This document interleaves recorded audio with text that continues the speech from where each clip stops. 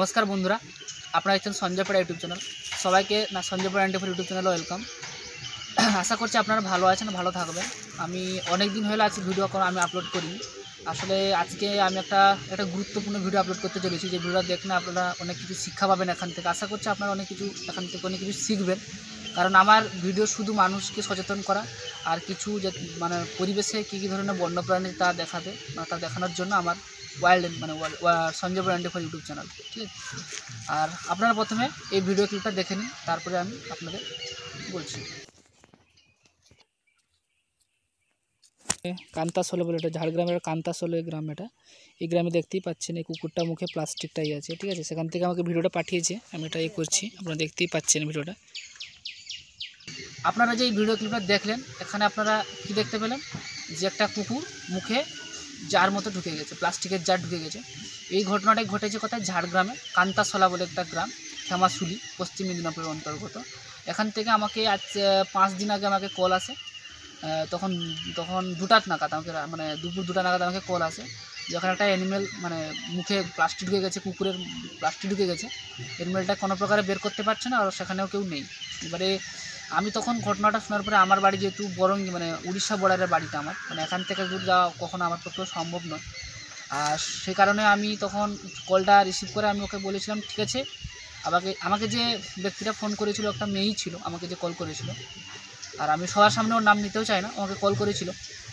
যে, দাদা, আপনি এখানে এসো, একে একটু রেস্কিউ করে দিন বা একে একটু বাঁচান, যাতে অ্যানিমেলসটা ইয়ে করতে পারো কাল থেকে ঢুকেছে। ও আমার নাম্বার ইউটিউব চ্যানেল থেকে পেয়ে আমাকে কল করেছে। আমাদের স্নেক রেস্কিউ নাম্বারটা যেই একই নাম্বার অ্যানিমেল রেস্কিউ নাম্বারও একে আপনারা দেখতেই পাচ্ছেন, আমি হাত দিয়ে রেখেছি, এখানে আমাদের নাম্বারটা উঠছে। এই নাম্বারটায় আপনারা কি যোগাযোগ করলে আমাদের পেয়ে যাবেন। আমরা বিভিন্ন ধরনের আমরা মানে অ্যানিমেল রেস্কিউ করি, বিভিন্ন প্রাণীকে বাঁচাই। আর একটা কথা বলি, ও আমাকে কল করে একটাই বলে যে, দাদা, এখানে এসে অ্যানিমেলসটাকে বাঁচান। বাট আমার আমার পক্ষে যাওয়া সম্ভব হয়নি। আমি তখন, আমি যে এনজিওতে কাজ করি দাদাদের সাথে কথা বলে আমি, ওখানে যে ঝাড়গ্রামে যে ফরেস্ট ডিভিশন আছে ডিএফও ও ডিএফওকে মানে ফোন করি। আর ওখানে বলি যে, যাতে গিয়ে ডিএফওরা মানে যারা ফরেস্ট ডিপার্টমেন্টে যারা লোক আছে তারা গিয়ে মানে যাতে রেস্কিউটা করুক। বাট আমি পরে জানতে পারি, ওখানে কেউ যায়নি। সেটা ছেড়েও দিলাম। তারপরে আমি এক দু ঘণ্টার পরে আমি আর- আরেকবার কল করি। যখন ডিএফও কোনো ফরেস্ট ডিপার্টমেন্টে কাউকে না পাঠায়, তখন আমি সেখানে গিয়ে কল করতেই ও মেয়েটাকে কল করি। ওকে বলি, ঠিক আছে, তুমি দেখো, নাহলে আমি কিছু ব্যবস্থা করছি। তার উদ্যোগে আমি, তার দু তারপরেই আমি কি করি, মেয়েটাকে বলি আমি নাহলে ট্রাই করছি যাওয়ার। সেটাও আমি ওকে বলি। বাট এর উদ্যোগে আমি কী একটা আমার মাথায় একটা চিন্তা আছে যে আমি যদি ফেসবুকে আপলোড করি যে ঝাড়গ্রাম ওয়াইল্ড লাভ ঝাড়গ্রাম বলে একটা গ্রুপ আছে ফেসবুকে সেখানেও আমি দিই আপনারা দেখতেই পাচ্ছেন, আমি পোস্ট করেছিলাম। সেখানেও লেখা আছে, আমার নাম লেখা আছে ট্যাগ লাইনও লেখা আছে। আমি লিখেও রেখেছি সে লেখাগুলো। আমি আপলোডও করেছি, কিন্তু সেখান থেকে কোনো রেসপন্স পাইনি।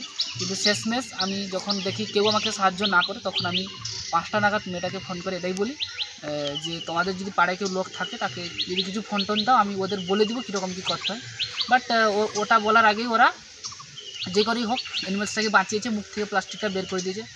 আসলে খুব মানে যে কোনো অ্যানিমেলসের মুখে প্লাস্টিক থাকলে ও তো খাবার খেতে পারবে না, ধীরে ধীরে ও মরে যাবে। ও তো খাবার যদি না খায় খুব ভালোই কাজ করেছেন। আমি ওই মেয়েটাকে ধন্যবাদ জানাব আমার চ্যানেল থেকে। অসংখ্য ধন্যবাদ। ও মানে এত বড় একটা গুরুত্বপূর্ণ একটা কাজ করল। আর আমাকে মানে জানালো যে একটা অ্যানিমেলস এতটা কষ্ট পাচ্ছে। সত্যি খুব ভালো লাগল। এরকম আপনারও আপনাদের চারিপাশে, আপনাদের বাড়ির চারিপাশে এরকম অনেক নিত্য, প্রতিদিন এরকম ঘটনা ঘটে থাকে। আপনাদের যেখানে এরকম হবে, আপনারা কখনো ইগনোর করবেন, অবহেলা করবেন না। আপনারা আমাদের কল করুন, নাহলে আমি না গেলেও আমি অন্য কাউকে পাঠাবো বা আমি ফরেস্ট ডিপার্টমেন্টের থেকে চেষ্টা করব লোককে কাউকে পাঠানো যাতে ও কাজটা করে দিয়ে আসে। কারণ আমরা চাই, আমরা যেরকম বেঁচে আছি, ওয়াইল্ড অ্যানিমেলসও প- এখানে পরিবেশে বেঁচে থাকুক। আর আমি সব শেষ বলার আগে আমি ওই মেয়েটাকে অসংখ্য ধন্যবাদ জানাব।